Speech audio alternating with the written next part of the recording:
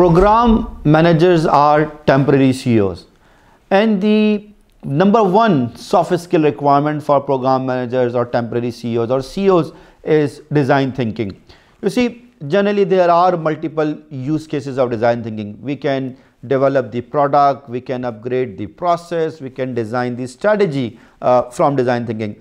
But it is very, very vital that when you see that you are leading a corporate startup and you need to build future of your organization through your program, then you don't have any choice other than design thinking. Because design thinking will help you to see the problem or opportunity first then the product and service first.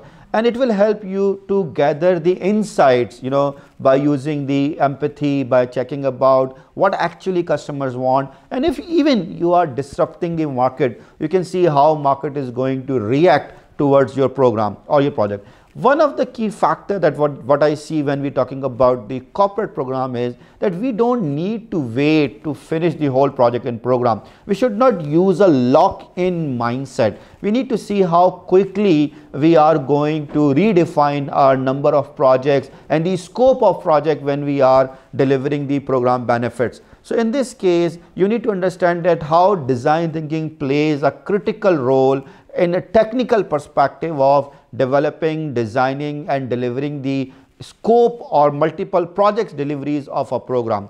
If you want to see and practice how you can use design thinking for program components and program component scope, then you can join our program management with corporate startup workshop. Thank you.